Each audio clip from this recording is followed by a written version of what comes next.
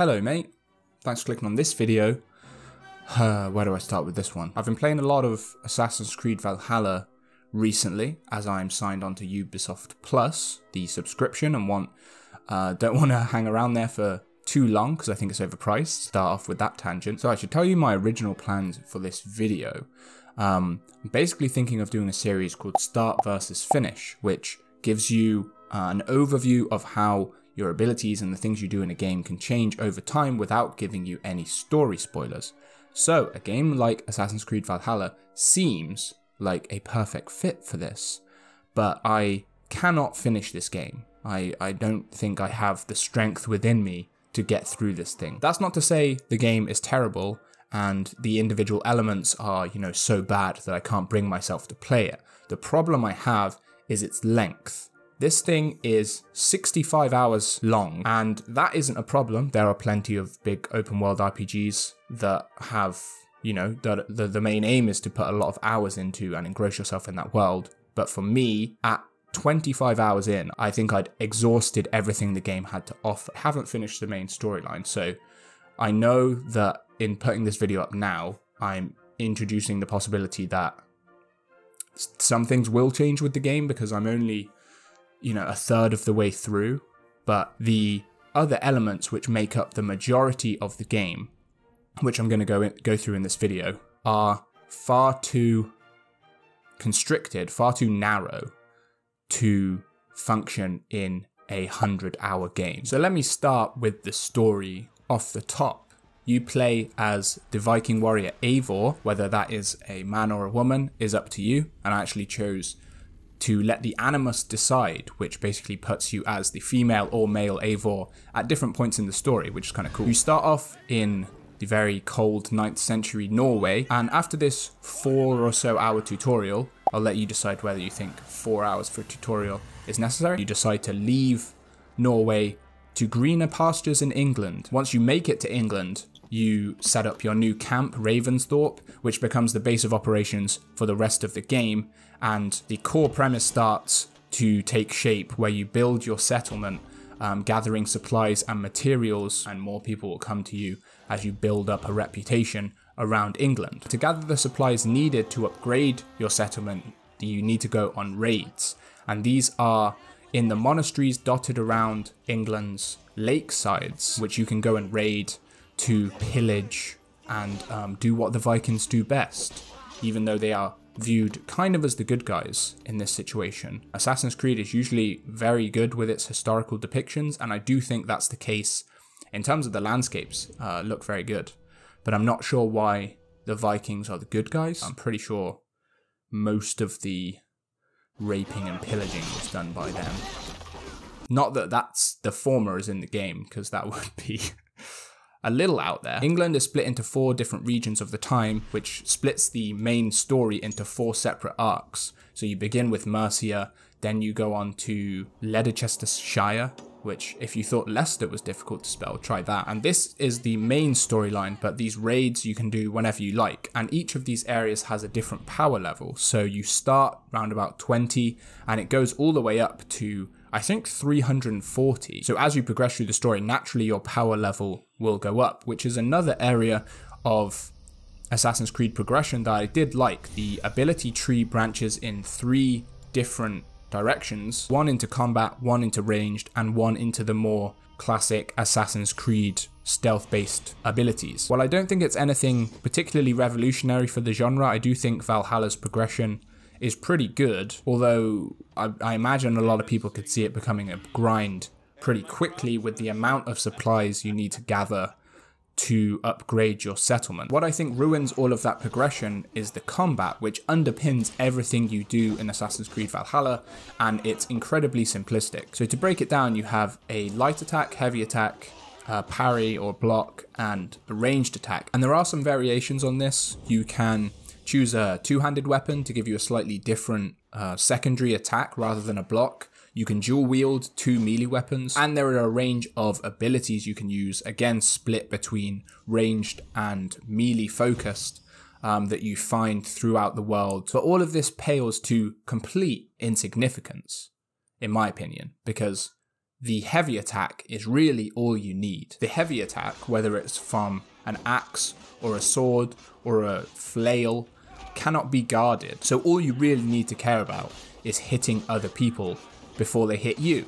And fortunately, that's really easy because Assassin's Creed gives you a evade which cannot be hit. You cannot be hit with this evade. It doesn't matter as long as you have the stamina to use it, so you can't just spam it.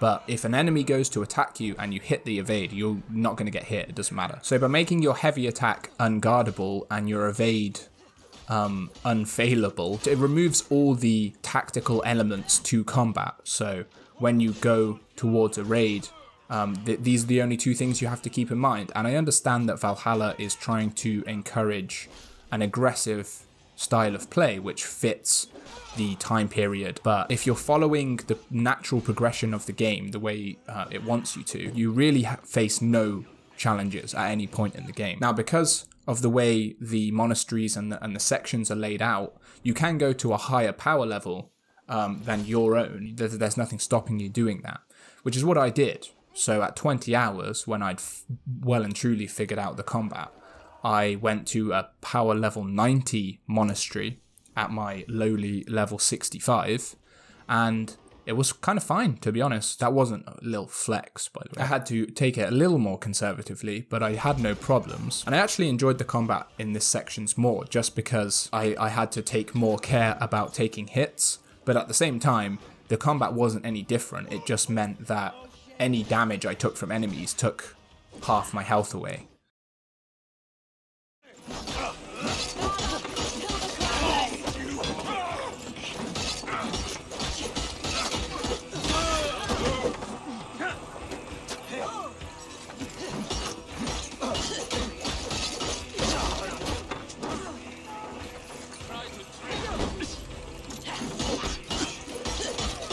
And you know, if this was just the case for raids, that would be fine. But every story mission boils down to attacking people in some way, except sometimes it's padded out with trailing missions and going to this waypoint before you engage in fighting. So, very quickly, it became apparent that combat was the core gameplay element to Assassin's Creed, more so than exploration, more so than the parkour um, and any of that kind of thing. And unfortunately, it's also the weakest gameplay element, which is a shame because I really do enjoy the exploration and the parkour, which, in my mind, were the core ingredients of the original Assassin's Creed games. And as they have moved away from that, you would think that the new elements would be better. But I do want to talk about the positives. The parkour is enjoyable in terms of the animation, all of that felt pretty smooth. I was rarely felt stuck on things or wasn't sure where I can climb, but that's because you can climb on pretty much anything and again, makes it very simplistic. If you need to get to the top of a mountain or the top of a building or the top of a hill, you just run up and the game does the rest for you. You can climb on anything. It doesn't matter if it's rain-soaked waterfall rocks. You can just zip up on that up there whenever you want. There is a little more I won't call it puzzle solving, but there's more thought to be done for the underground searching of loots, as I mentioned. So you can get um, kind of high level gear, um, ingots, which you can use to upgrade your existing gear, and abilities. Um, and these are the bits I enjoyed most. They're a bit more linear, but the key is that you have to sneak. So these are usually guarded areas, and this introduces the hidden mechanic of older Assassin's Creed games. I forget the name, but you have the main restricted area and a level slightly below that where if you're wearing a cloak and you don't alert too much attention to yourself, you can uh, walk through undetected. The AI here is a little more suspect at um, letting itself be exposed for what it is. There are quite a few occasions where you will assassinate someone in plain sight and they just won't react. Playing through Valhalla, I really disconnected with the RPG elements versus the stealth elements, which aren't defined stealth elements anymore the same way they were in the original Assassin's Creed games. Assassin's Creed has now become a glorified RPG with its roots in the original games, which Ubisoft feel are necessary to keep in there to keep to, for, for long-time fans of the series, combined or not even combined, just kind of mashed up against each other with, I guess, what they would deem safe AAA RPG elements. Just think of other games that have 60 hour campaigns and how long it takes for new entries in those series to appear. I can't think of any others that come come around every 2 years. Obviously that's because not many studios have the size, the capacity of Ubisoft, but I think the point still stands. I think a lot of Assassin's Creed Valhalla is scale for the set for the sake of scale and not scale for the sense of possibility. And I mean that in the possible things you can do within the game. There are lots of different icons on the map that you can go to. So there are raids, there are assassin missions, there are side missions, there are beast hunts. All of them play out the same way, which is just mashing that heavy attack button until the thing in front of you is dead. It's like even the one beast mission I did had this setup where there was some kind of beast that had been mutilating animals and you had to track its trail and it leads you into a cave and you realize the cave is cursed.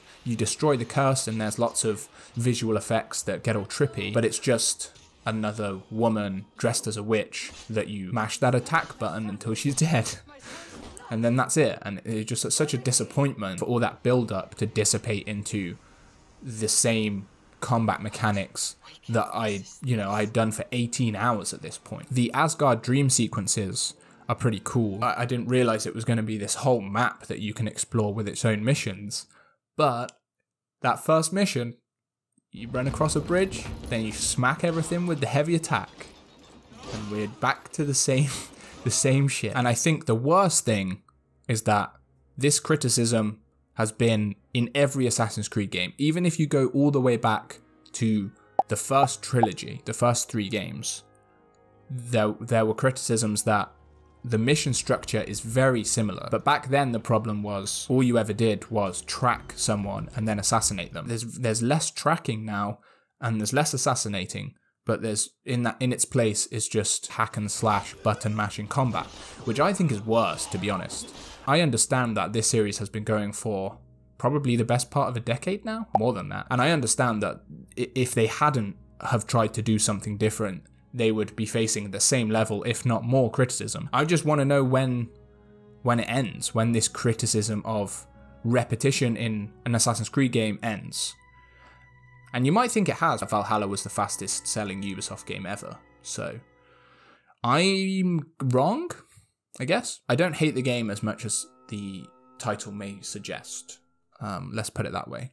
It's filled with hyperbole, but this is YouTube, and I'm I'm only doing this for your clicks. So thanks if you clicked on this video. Um, please check out my other stuff. I have this is the first actual kind of game review I've done in quite a while. My stuff is usually compilation or news based, but if you like this, please drop a like on the video to know that I can keep doing more of this stuff. And if you're new, please consider subscribing. That would be awesome. My, my video just cut out with two words left to say, excluding all this extra dialogue that I'm now doing to express what just happened. So let's just call it there, shall we? Goodbye.